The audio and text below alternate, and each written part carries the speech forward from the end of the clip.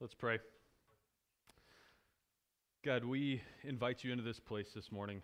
Um, God, would you pour your Holy Spirit out onto each person in here? Um, God, we ask that hearts would be changed this morning. Um, Father, if there's somebody in here that does not know you as their Savior, God, would today be the day of salvation for them? God, I pray that you would speak through me. God, would it not be my words, but yours that are heard? Um, God, we need your power in this place um, if we are to understand and to know you more. So, God, we again invite you into this place this morning. It's in Jesus' name that we pray. Amen. Well, if you have your Bibles, I invite you to turn with me to Luke chapter 1. We're going to be just a couple verses past what Ryan preached on last week. Um, I hope you got to hear that sermon. If you have not heard Ryan's sermon, I really invite you and encourage you to go back and listen to it. Um, it, was the, it was the first sermon in this Advent series that we're doing, that we're walking through the songs of the Christmas season Mary's song, Zechariah's song, Song of the Angels and the Shepherds. Um, and, and, what Ryan really keyed on last week was the heart that Mary had.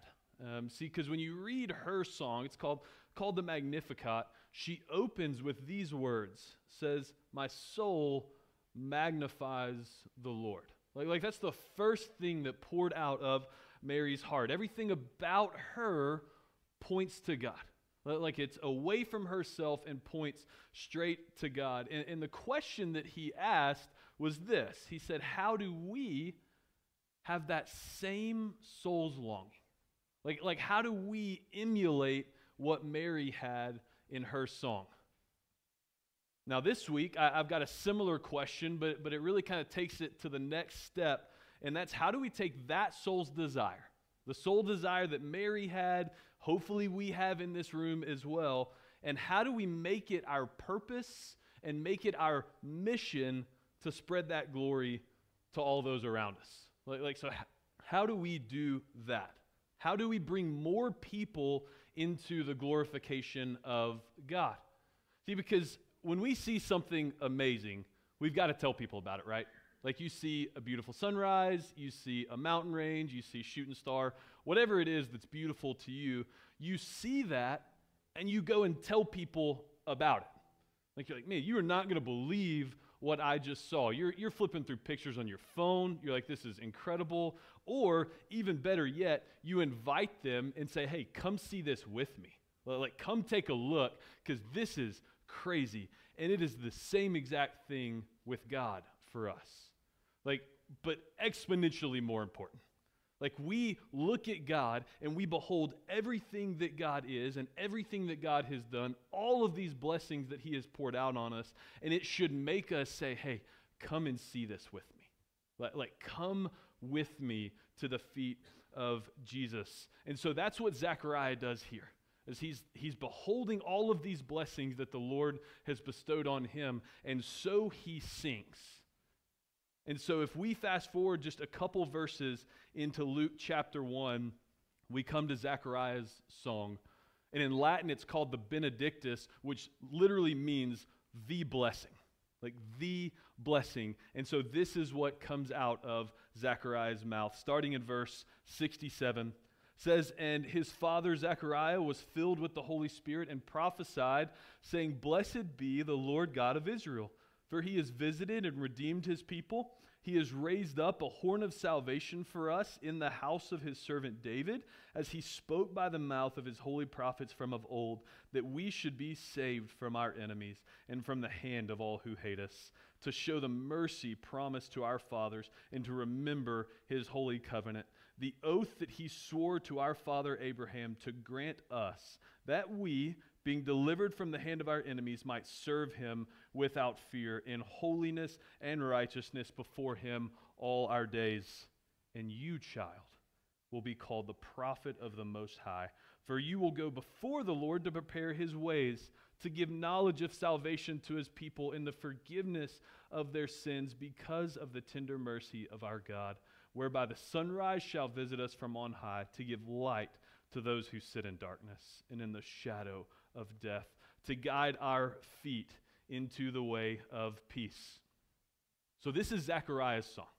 This is what he sings. And for us to really understand like the gravity of what Zechariah is talking about, we need a little backstory on Zechariah. So he was a priest. He was one of many, many priests at the time. And what would happen is they would cast lots on any given day to see which priest it would be that would go into the temple, that would go into the holy of holy places. And when in there, the priest would make atonement for sin, he would do sacrifices, he would mediate for the people to God. Like, like that's what a priest did. And so this is Zechariah's day. He, he, the lots fell on him. That was by no accident, by the way. The Lord ordained this to happen. And so Zechariah thinks he's just going in to kind of do what they always do. But as Zechariah enters the Holy of Holies on this particular day, an angel of the Lord appears to him. Now, in and of itself, that would be terrifying. Like you're standing in here, and all of a sudden, an angel is just standing in front of you talking to you. I would be outside of my mind if that happened. But keep in mind, God has been silent for 400 years. 400 years, God has not spoken to his people. And from what we see in the Bible, this interaction is the first recorded speaking of God back to his people. This is the first one, and it's here, God speaking through an angel directly to Zechariah. Now, that is mind blowing. Absolutely wild. You know, Zechariah is not expecting an angel to speak to him on this day. And so the angel comes and he says, Hey, you are going to have a son. You are going to name him John. And oh, by the way, he is going to prepare the way for the Messiah. Like, that's going to be your son. Now, Zechariah doesn't believe at this point. Zechariah is kind of dumbfounded. He's like, okay, well, my wife actually can't have kids. Um, I'm also super, super old. Elizabeth is also super, super old. Like, I don't know if you knew that, Angel. We're not really of age anymore. Um, he said that there's no way this is going to happen. Now, the angel doubles down. He says, no, it's for sure going to happen. You are going to have a son. But because of Zechariah's unbelief, the angel says, You will be mute until John is born.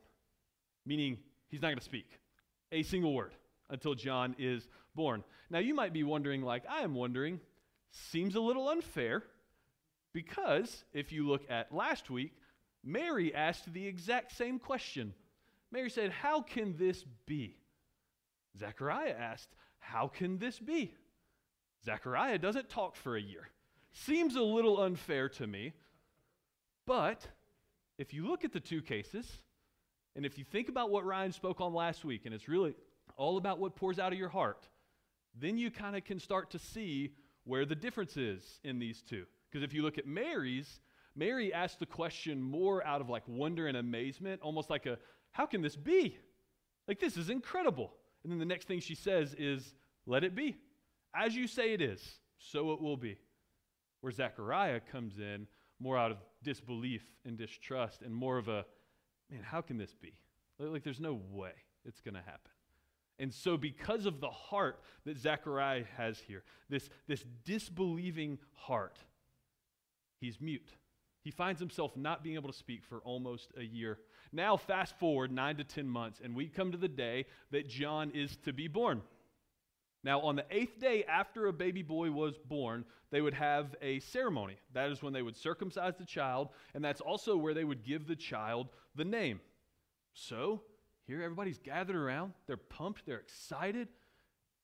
And they look at Zechariah and they say, Congratulations, this little boy. And they look at Elizabeth, and Elizabeth said, His name is John. Now, in the custom back then, this would have been a no no. Like every firstborn son was a junior of his father. So Elizabeth says, Hey, his name is John. Every head turns to Zechariah. He's like, Well, are you the dad? Like, because your name's not John, Zechariah. Like, what's going on here?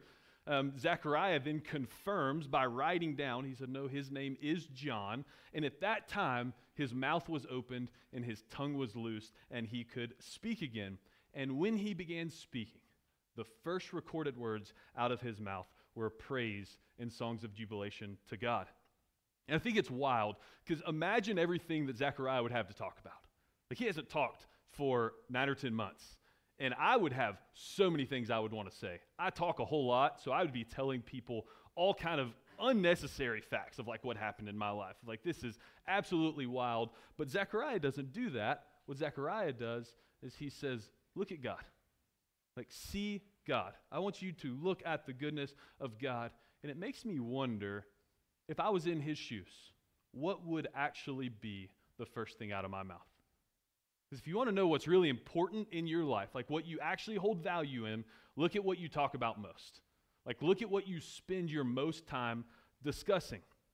Like, maybe for you, it's local politics, like, like school board stuff, or maybe it's national politics, or it could be high school football, which we've got a lot to celebrate in here right now. P&G just went and took the state championship. That is super fun. Or maybe it's the juicy gossip right now of if Trav and Tay are ever going to get married. They're an adorable couple. Um, don't get me wrong, these are fun things. I, I want Travis, and Kel- Travis Kelce and Taylor Swift to be together forever. I think they're incredible, but we need to take a deep look. What's, what's the priority that we're talking about here? Like, like, do those things take priority over what we should be talking about? Like, when's the last time that you really took an in depth look at what Jesus is doing in your life? And when's the last time that you really told somebody about him? Like, especially right now at the time of Christmas. Like Jesus is being born. Like, how much are you talking about him? And if I'm honest and if I confess myself, there's plenty of times that I have conversation that it revolves around sports or work or, or any myriad of things. And I look back at the conversation and say, man, I didn't even bring Jesus into the conversation. Like, he wasn't even hardly present in that conversation. So it's refreshing to look at these songs because it's like, man, their priorities were right the first things pouring out of their heart was joy and satisfaction in God.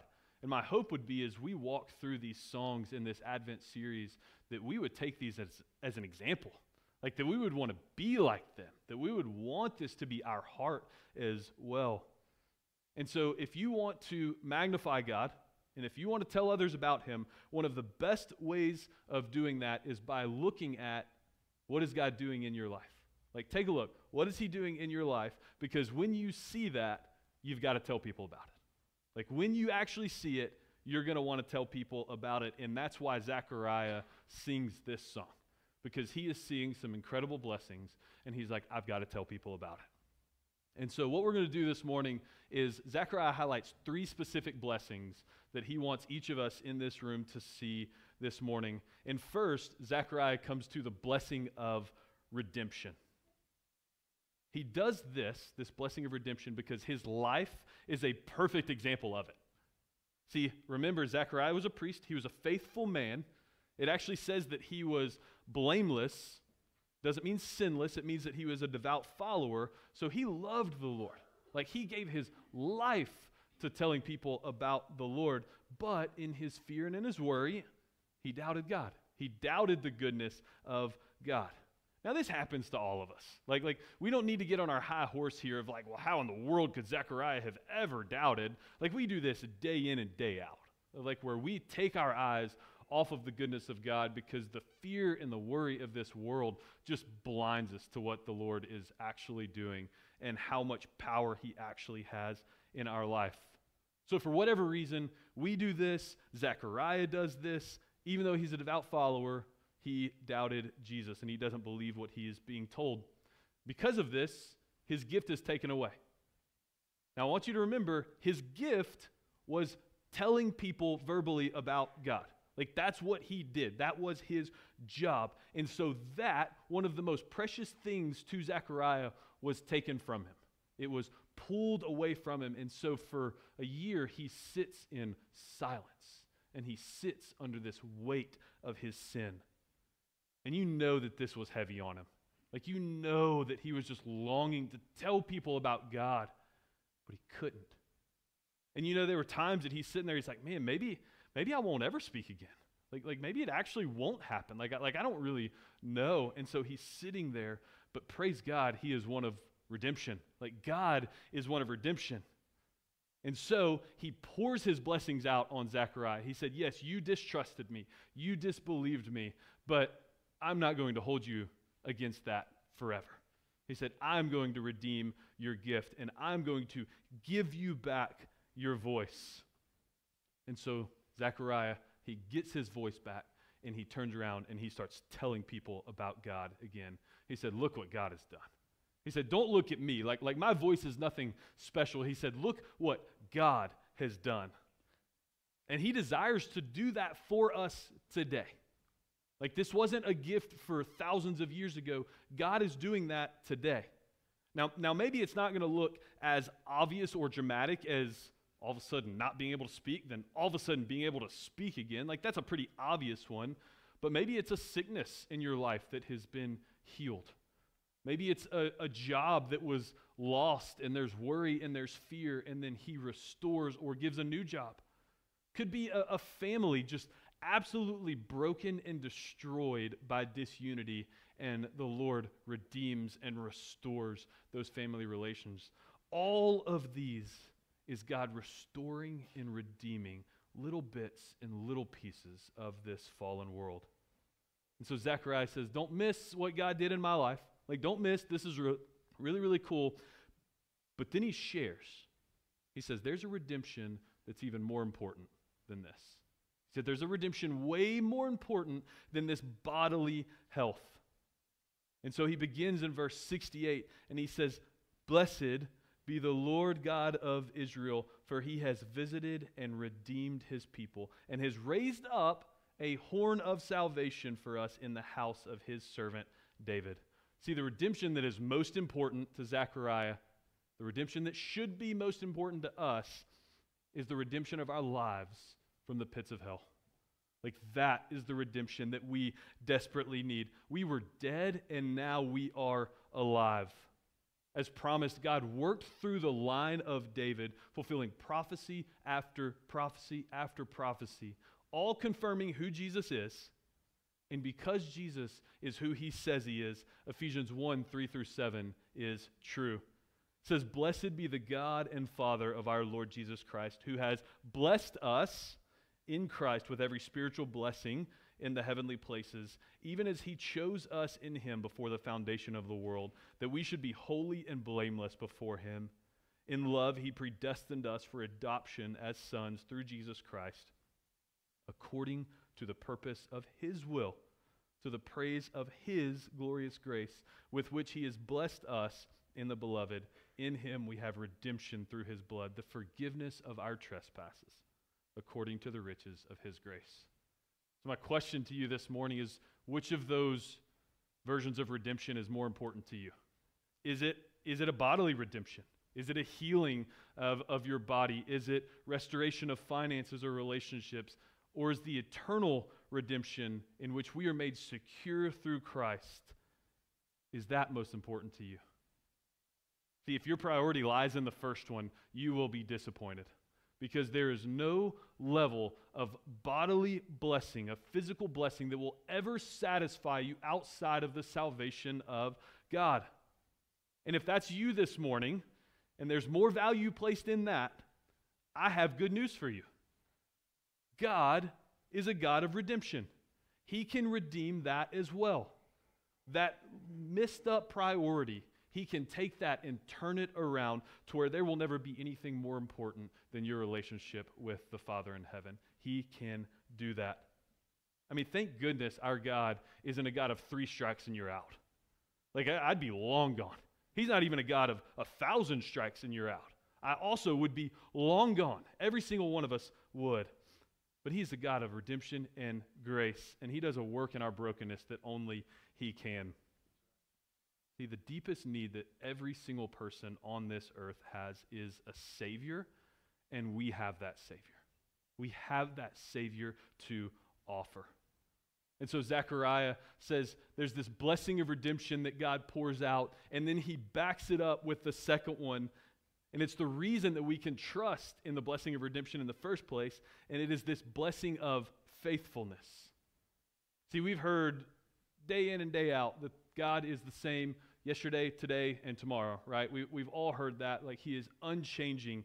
And that is incredibly good news. See, because if God was one who just changed his mind all the time, this redemption that he offers to us, this grace that he so freely pours out on us, just as quickly he could grab it and take it right back.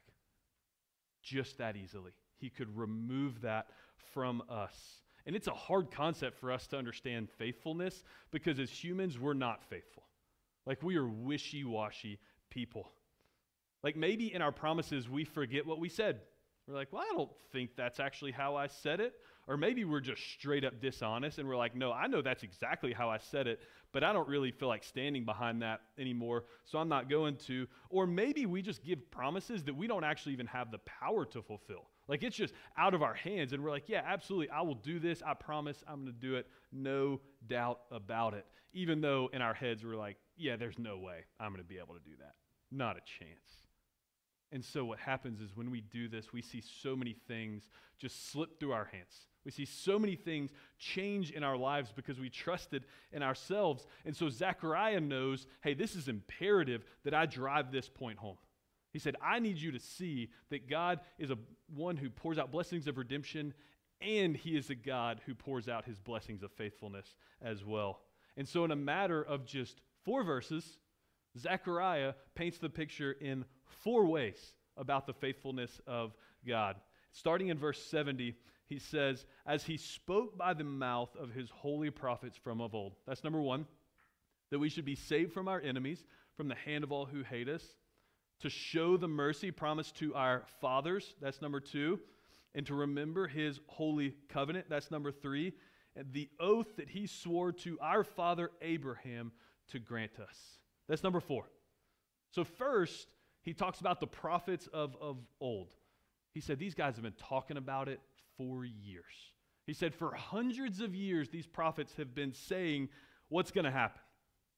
And many of the people that, he would, that Zechariah would be speaking to right now are priests, so they know these promises that have been given to the prophets. They know what Zechariah is talking about. So, in essence, Zechariah is looking at each one of them and he says, At long last, God is fulfilling his promises. What all these guys have been telling us for hundreds of years, it's coming true now.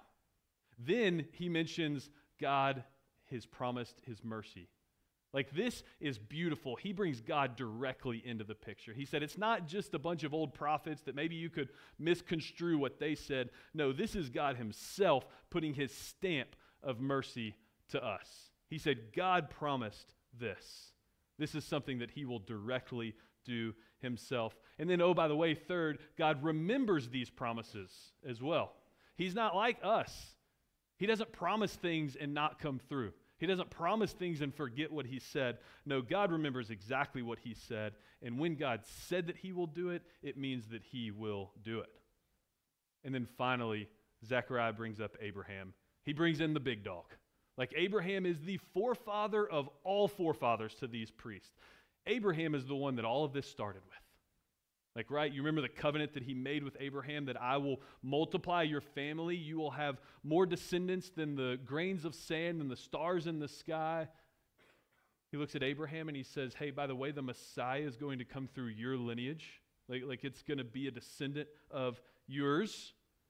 Zechariah said, Hey, that covenant that you know, like they would have remembered that covenant. He said, God's getting ready to grant it. God is getting ready to bring that covenant into life, and it is here. And, church, these promises stand today. Like today, we stand under these promises because we are what's called the people of his promise. In verses 74 and 75 says that we being delivered from the hand of our enemies might serve him without fear in holiness and righteousness before him all our days. We are the people that he has promised this to. Each and every one of us sitting in this room is who he looked at and said, I'm going to deliver you from the hand of your enemies. He said, I am going to save you, and you will be with me all of your days. Like, that is us. We are the people of his promise, and that is absolutely incredible. And that is only true because God is faithful and he will come through and redeem his people. And this is what we need, right? Like this is what people need. This is one of the biggest needs of the world is something secure to hold on to.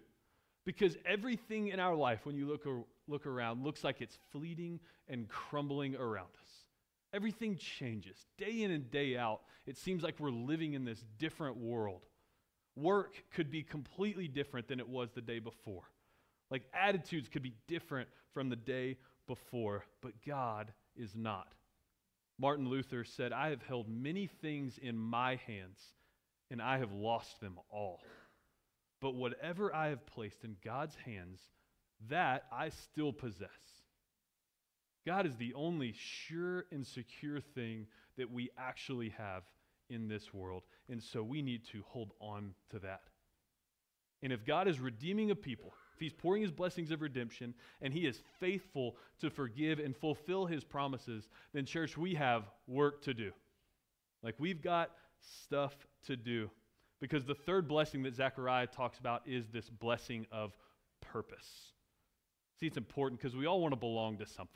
Like we all want to have something that gives us pride, that makes us feel important, that we feel like we're in this together with people.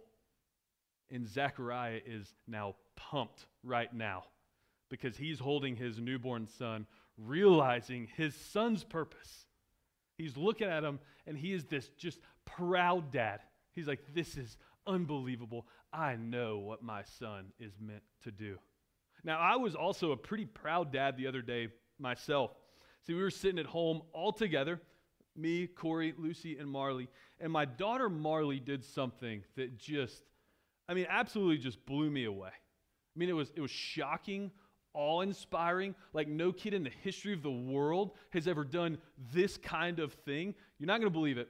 But I, I raised my hand to her, and, and I kind of did this little wave. Just, just this tiny little wave. And hold on to your seats. She picked her hand up, and she, like, kind of closed it and then opened it again. It was unbelievable. It's the craziest thing I have ever seen in my life. And so I'm now this crazy dad running around telling people about this magnificent feat of athleticism. I'm like, you're not gonna, you're not gonna believe this. Like, and then I'm inviting people over. I'm like, you have to come see this. Wave at my kid. Like, like, please just just wave at her. You're not gonna believe she does it back. Like, it's unbelievable. So I'm this wild dad, and so I can only imagine how Zechariah feels standing here because he is holding his newborn son. Pride is welling up in him as he looks in John's face. But instead of sitting there and going to tell everybody how good John's going to be, how incredible John is going to be, the first words are Blessed be the Lord God of Israel. Blessed be God. Not John. Blessed be God. And it was because of this heart that Zechariah now has. See, he has moved from that distrust nine to 10 months ago to a heart of just pure joy and satisfaction in God. And it's because of this that the pride that he now has in his son is an honest and a beautiful joy that he can partake in. Because remember, it's, it's Zechariah's job to tell people about God. He's a priest.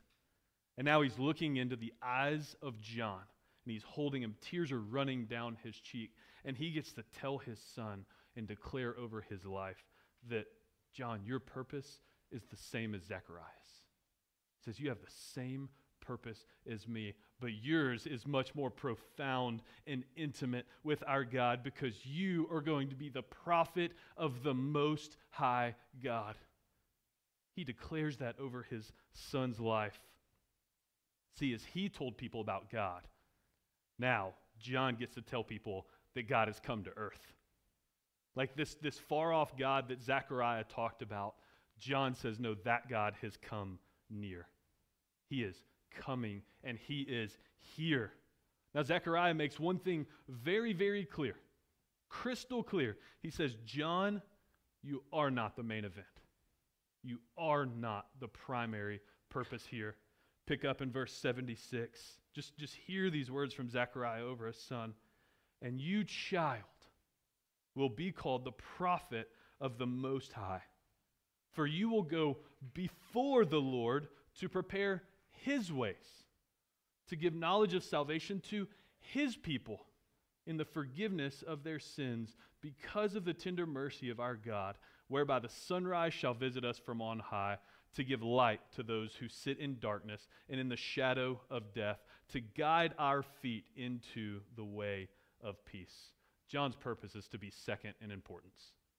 He's not number one. Yes, he's going to come before Jesus, but the only reason he's coming before Jesus is to make the Messiah's entrance as big and as important as he possibly can. Now, again, don't forget the context that these words are set in.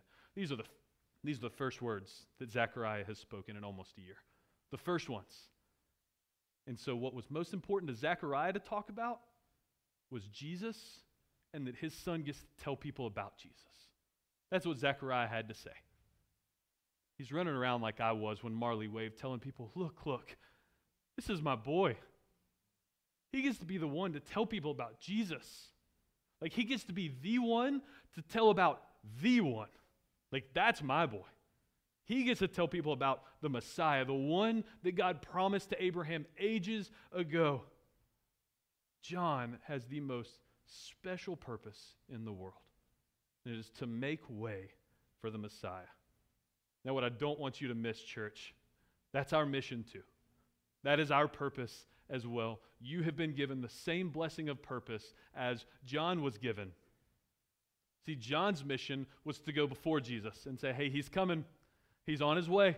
He's, he's right behind me. And this is a brutal job. God's been silent for 400 years, and now you have a guy saying, hey, not only is God speaking again, but God's here. You know, everybody's looking at him like, dude, I, I don't know if you know what you're talking about. Like, that, he hasn't been talking for a long time, so don't, don't act like all of a sudden you have all the answers. But that was John's mission. Our mission is to say, Jesus has come. Jesus was here. Jesus bought our redemption, He bought our salvation. He bought our place in heaven. And we now get to tell people that He's coming back. Like Jesus will return. That is our purpose in life is to tell people about Jesus. It's not what job you have, it's not your hobbies, it's not your family, it's none of those things. Your purpose is to be a front runner for Jesus' sacrifice, a champion for his return. And you tell people as much as you can that he's coming. See, Jesus has given us jobs and neighbors and families to spread the gospel. He said, These are great things. Use them to tell people about Jesus. See, if we go to work and come back without having a conversation about Jesus, or maybe the deepest conversation you've ever had with your neighbor is, Hey, can I get a cup of sugar? I'm making some cookies. Like, man, you are missing out on your soul's deepest purpose and desire. Step into that purpose today. So, as we close, I want to return to that question at the beginning. The question was how do we take this soul's desire to magnify God? And how do we transfer it into our purpose and mission to share the glory with everybody around? One practical application, just one, then I'm going to be done. And that's meditate on the blessings of God. Meditate on them. What is it that God is doing in your life today?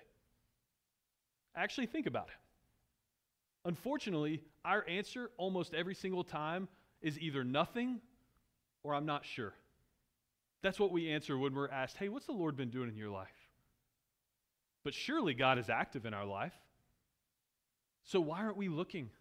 Why aren't we seeing the lavish blessings that God is pouring out on us? If we would just slow down and look around, man, we would be blown away of what He's actually doing, and we would then have to tell people. Think of all the miracles in the Bible. Every single time Jesus did something, the people surrounding could not get to friends and family fast enough to tell them. Like, imagine if you were there the day that Jesus raised Lazarus from the dead. Do you think you're just going to be like, well, that was kind of cool? And then at the end of the day, be like, man, what was it that God did today? No for weeks and months, you're going to be like, this was wild. This guy was dead, and now he's standing right here. And you're going to tell everybody you can. People walking past on the street, they were like, bro, this guy is alive now. He was dead. They are telling everybody, and we have that same thing today. God is doing miracles in our life every single day. The fact that we don't tell people about them doesn't mean that they don't exist. It means that we're not looking for them. It means we're not seeing them. So I've got a challenge for you this morning. I've got homework, if you will. I know you didn't come to Sunday church to get homework, but I'm going to give it to you anyway. I want you to write down one thing a day. Just one thing. It can be a very small thing, it can be a big thing, whatever. But what is it that you see God doing in your life today?